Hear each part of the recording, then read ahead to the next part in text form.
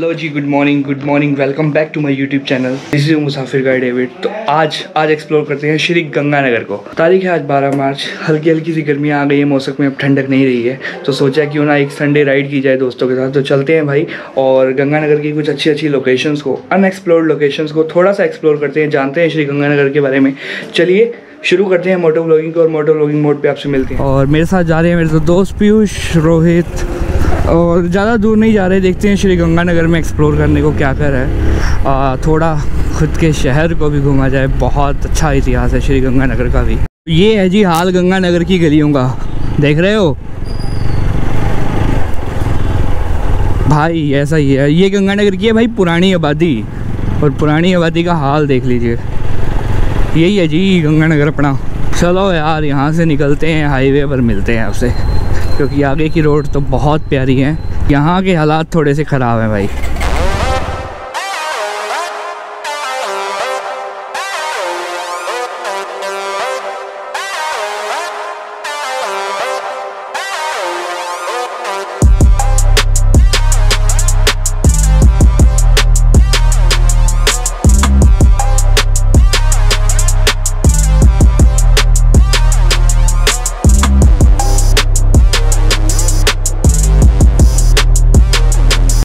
तो भाई Sunday ride की शुरुआत हो गई है। अभी हम रुके हैं लगभग लगभग गंगानगर से 15 किलोमीटर आगे चलकर। तो भाई बहुत टाइम हो गया था चैनल पे वीडियो नहीं आई थी तो मैंने कहा, क्यों ना अपने शहर को एक्सप्लोर किया जाए? तो दोस्तों के साथ निकले सबसे पहले आपको दोस्तों से इंट्रोड्यूस करवाता हूँ। इस पीयूष, इसको तो आप जानते ही होंगे, हर राइड पर अपने साथ होता है। और दो नए भाई लोग अपने साथ चल रहे हैं इस पर राइड पर, रोहित और अंकित।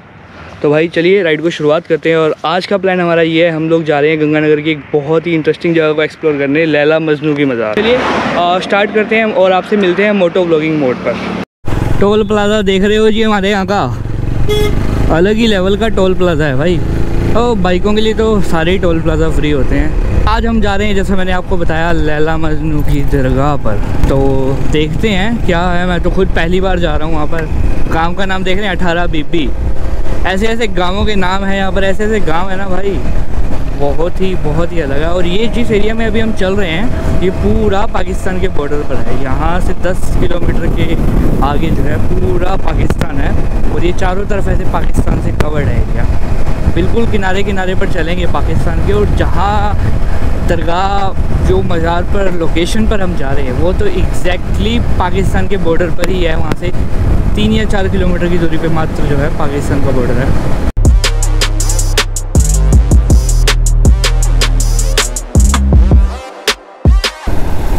पदमपुर में लोग ऐसे घूर रहे हैं जैसे कोई गुनाह कर दिया हो भाई।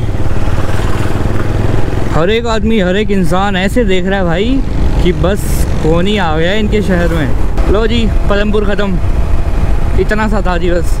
छोटा सा कस्बा। और हर 15-15 20-20 किलोमीटर बाद ऐसे छोटे छोटे कस्बे आते रहेंगे। और रोड देखो यार, एक छोटी सी प्यारी सी सिंगल रोड है, उसी पर आने वाला ट्रैफ़िक है, उसी पर जाने वाला ट्रैफ़िक है। देख के क्या लग रहा होगा, ये एक छोटी सी गली है, छोटी सी सड़क पर अगर आपको एक बात बताऊँ तो ये है नेशनल हाईवे हाँ जी तो हम लोग पहुँचे हैं गसिंगपुर में। छोटा सा एक और कस्बा, जो कि आता है श्री गंगानगर के अंदर, और ये है उसका नेशनल हाईवे देख लीजिए आप सामने, ट्रक आ रहे हैं, बसें आ रही हैं। यही है भाई, यही है। छोटी छोटी जगहों पर छोटी छोटी चीज़ें देखने को मिलती है।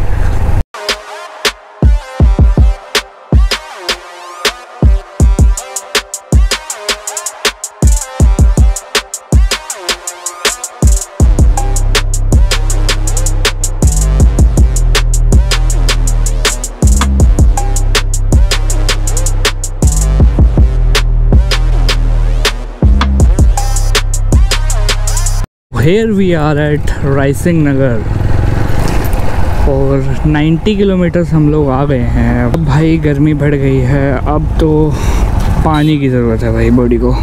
पानी पीते हैं, फिर आगे का सफ़र कंटिन्यू करेंगे यहाँ से। अभी भाई संडे राइड करते करते बीच में रुके थे एक ब्रेक के लिए, छोटे से ब्रेक पे हमने कुछ नहीं, बस ठंडा पिया बिकॉज़ बहुत गर्मी हो रही है। और अब यहाँ से आगे का सफ़र जो है कंटिन्यू करेंगे। अभी इस वक्त हम हैं रायसेन नगर में। राजस्थान का छोटा सा कस्बा है। और देख लीजिए आप, कुछ भी नहीं है यहाँ देखने को खास। तो 10-15 मिनट के लिए यहाँ पे रुके थे, छोटा सा ब्रेक लिया।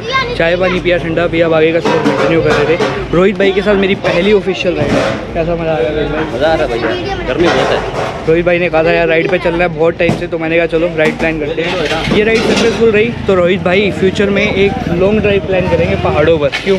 करेंगे बिल्कुल करेंगे भाई। तो बस अभी सफ़र को आगे कंटिन्यू करते हैं। चालू करेंगे। बिल्कुल वापस आएँगे। बिल्कुल अफकोर्स और भाई हमें लोग मिले थे यार रास्ते में।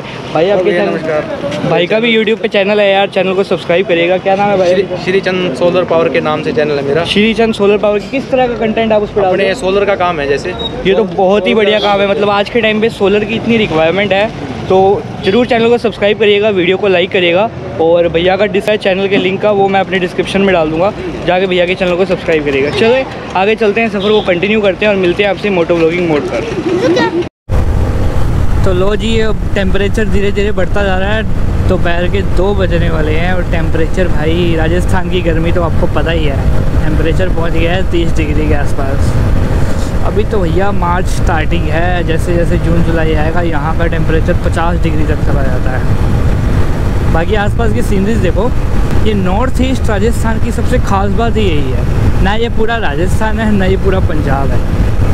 रेगिस्तान भी आपको देखने को मिल जाएगा और हरे भरे खेत भी देखने को मिल जाएँगे। पूरी रोड सो ये रही लैला मजनू की वो दरगाह, जिसके लिए हम इतनी दूर आए हैं।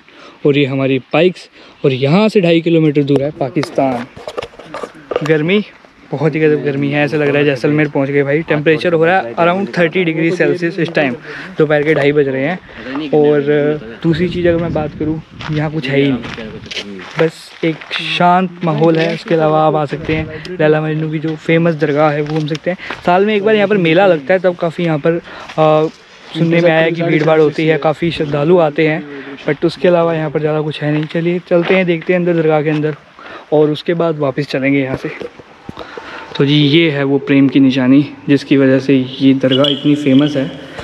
यहाँ पर अभी वैसे भी कोई है नहीं, हम दो तीन लोग ही हैं, लेकिन जब यहाँ पर मेला लगता है, कहते हैं सावन मास में, जून के महीने में यहाँ पर मेला लगता है, और उस टाइम यहाँ पर काफ़ी भीड़ होती है।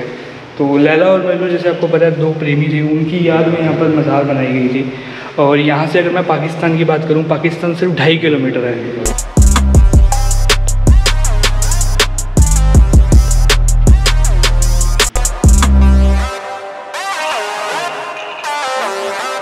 अगर आपको लैला मजनू के बारे में अच्छे से जानना है आ, तो मैं अभी लास्ट में एक दस सेकंड की वीडियो डालूँगा जिसमें इनकी कंप्लीट स्टोरी बताई गई है। उसे अच्छे से पढ़िएगा आपको लैला मजनू की पूरी कंप्लीट स्टोरी समझ आ जाएगी बाकी ठीक है घर के पास ही अपने खुद के शहर में इतनी अच्छी इतनी फ़ेमस जगह है तो यार पता भी नहीं था तो एक बार आना तो बनता था। तो आ गई ठीक है। वो कहते हैं ना अनएक्सप्लोर चीज़ों को एक्सप्लोर कीजिए। घूमो अपना देश। तो ये ऐसी चीज़ें हैं जो अनएक्सप्लोर्ड है, इनको एक्सप्लोर कीजिए इन चीज़ों को। टूरिस्ट प्लेसेस के रूप में अगर अपनाया जाएगा तो आने वाले टाइम में टूरिस्ट जो है यहाँ पर आया करेंगे।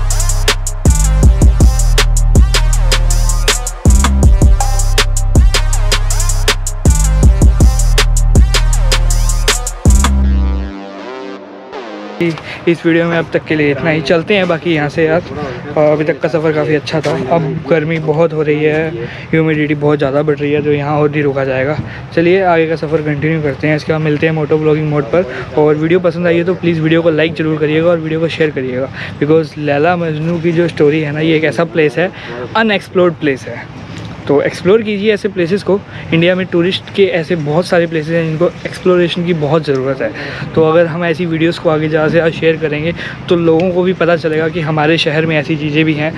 तो देख लीजिए, ये थी लैला की जगह अनूपगढ़ के अंदर पड़ता है, ये छोटा सा गाँव है बिंचोर उसमें। ठीक है, चलिए चलते हैं। चलो भाई, निकल रहे हैं यहाँ से, और अब हम चलाएँगे क्रूज़र और पीयूष चलाएगा मेरी अपाचे चलो भाई।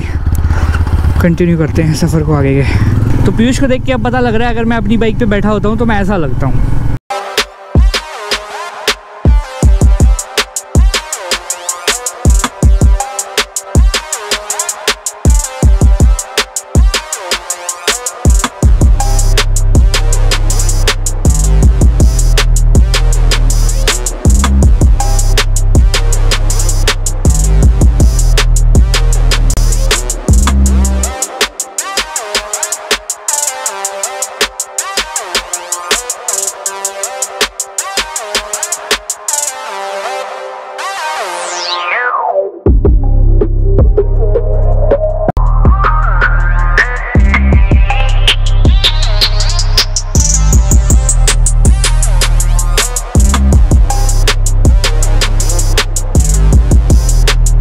तो भाई चलिए इस वीडियो को आज यहीं पर एंड करते हैं। अगर वीडियो पसंद आई हो तो वीडियो को लाइक करेगा चैनल को सब्सक्राइब करेगा और वीडियो को ज़्यादा से ज़्यादा शेयर करेगा so this is Musafir guide David signing off from my YouTube channel